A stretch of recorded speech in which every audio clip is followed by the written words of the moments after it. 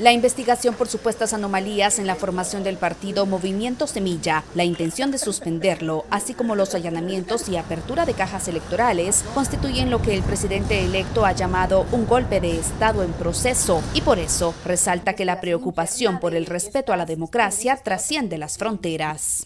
La comunidad internacional comenzó a manifestar su preocupación por lo que esto implicaba para el objetivo del mantenimiento de la democracia no únicamente para nosotros como país, sino para América Latina en general y para el mundo. El norte de Centroamérica afronta problemas comunes como la migración y por eso Arevalo indica que buscará trabajar en conjunto con El Salvador y Honduras. Nuestra intención es generar ese ambiente de trabajo con todos nuestros países limítrofes. Y envió un mensaje al presidente de Nicaragua, Daniel Ortega. Yo diría que lo que necesitamos es eh, que Nicaragua regrese a el seno de los países democráticos. Reiteró que aunque promoverán el respeto a todo ciudadano, en su plan no está contemplada la aprobación del matrimonio entre personas del mismo sexo.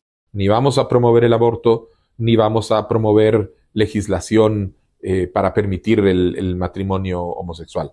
La toma de posesión de Bernardo Arevalo está prevista para el 14 de enero de 2024. Eugenia Sagastume, Voz de América, Guatemala.